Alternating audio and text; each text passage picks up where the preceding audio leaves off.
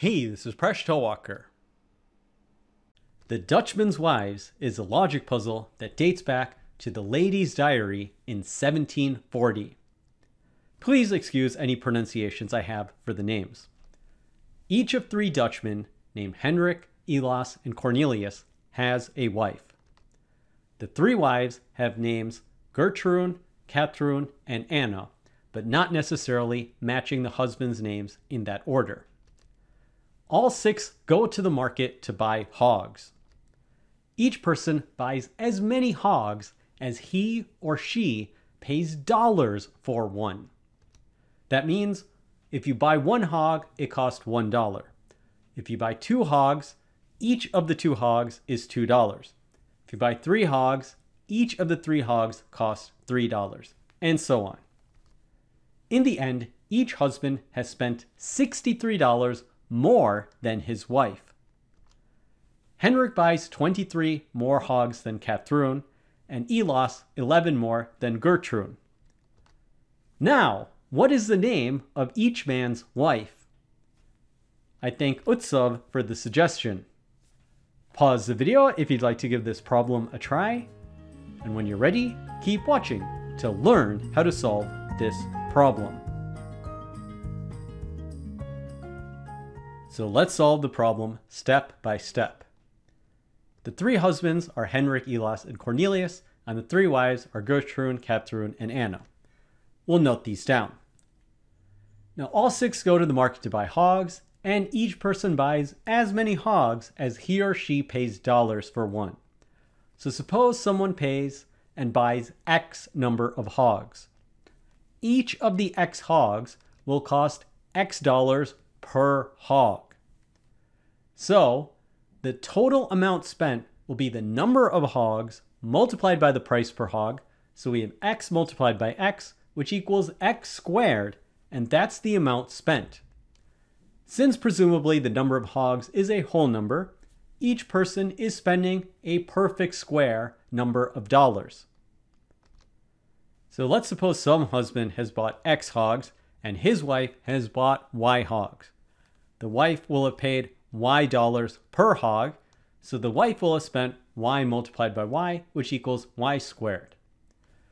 Now we know that the husband has spent $63 more than the wife. So we'll set up an equation for this, and that will be x squared minus y squared is equal to 63. Then Henrik buys 23 more hogs than Catherine, and Elas 11 more than Gertrude. We'll work on this clue later. So let's go back to this equation. Let's see what we can figure out from x squared minus y squared is equal to 63. We have a difference of squares, so we can factor this. This is factored as x plus y multiplied by x minus y. This is equal to 63. So let's imagine we are factoring 63 into two factors. We have x plus y and x minus y x plus y will of course be greater than x minus y because x and y are positive whole numbers. So how many ways can we break apart 63 into two pairs where the first factor is larger than the second factor? Well, working out the possibilities, there are three different ways we can do this. 63 is equal to 63 multiplied by 1, it's equal to 21 multiplied by 3, and it's equal to 9 multiplied by 7. So let's work on each case. Let's suppose x plus y is equal to 63 and x minus y is equal to 1. So we have two different equations. Let's solve for x and y. Notice if we add the two equations, we can eliminate the y term. So we get 2x is equal to 64. Dividing both sides of the equation by 2 gives that x is equal to 32. We can then substitute back into the equation x minus y is equal to 1. So we have 32 minus y is equal to 1, and that means y is equal to 31. So one possibility is that x and y are equal to 32 and 31. But that's not the only possibility.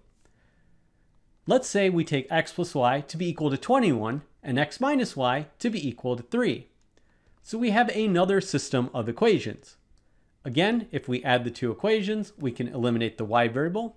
So we get 2x is equal to 24, and that means x is equal to 12.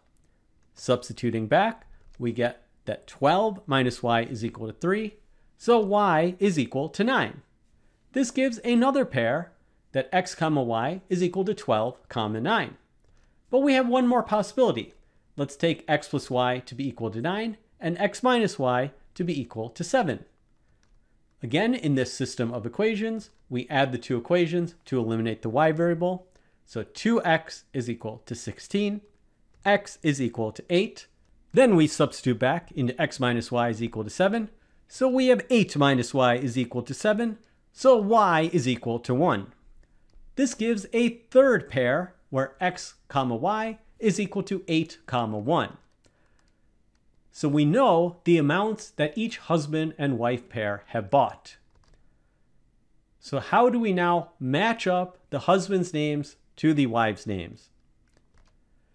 Well, in the end, each husband has spent $63 more than the wife. So let's just verify.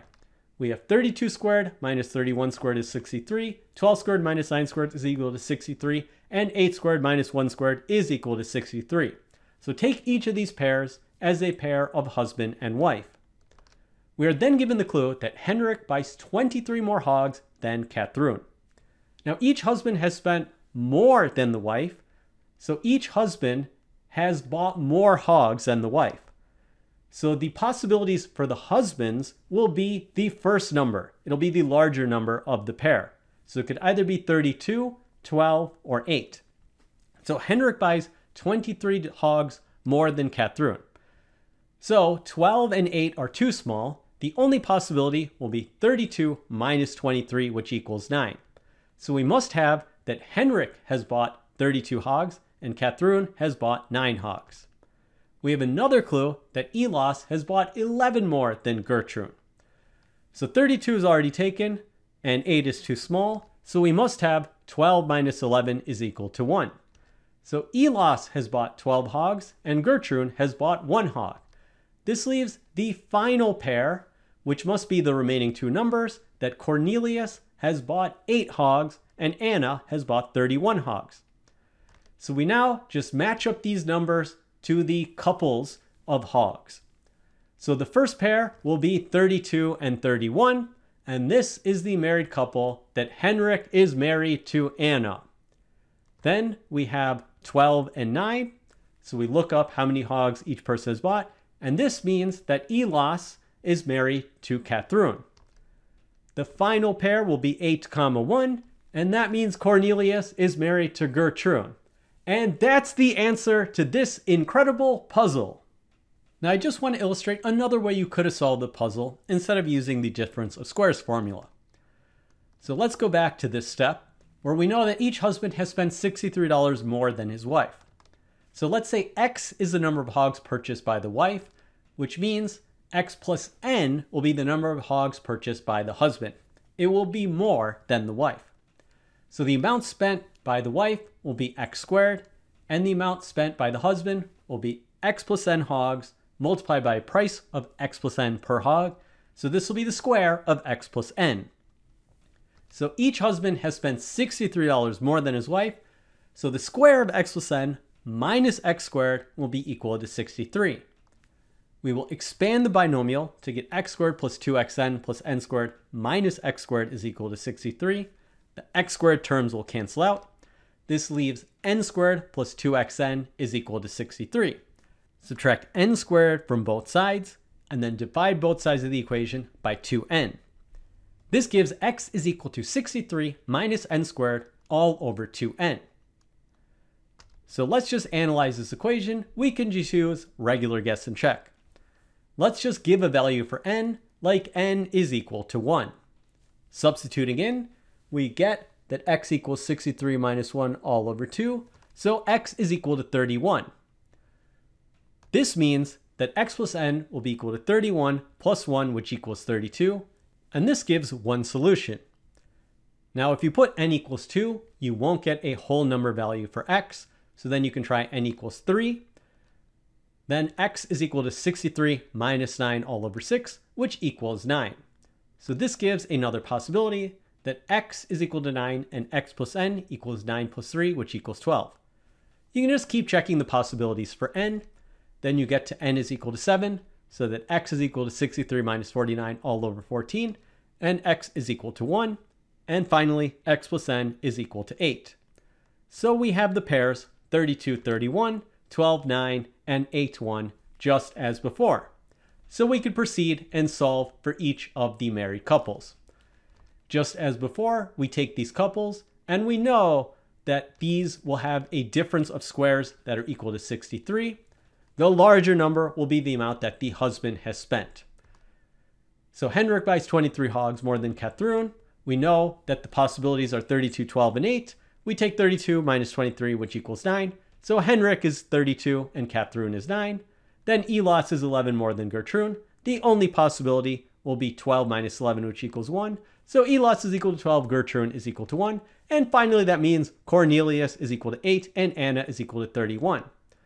So just as before, we match up the number of hogs that each person had bought to the couples that are the married couples. So we have 32, 31, which means Henrik is married to Anna. Then we have 12, comma 9, which means Elas is married to Kathrun.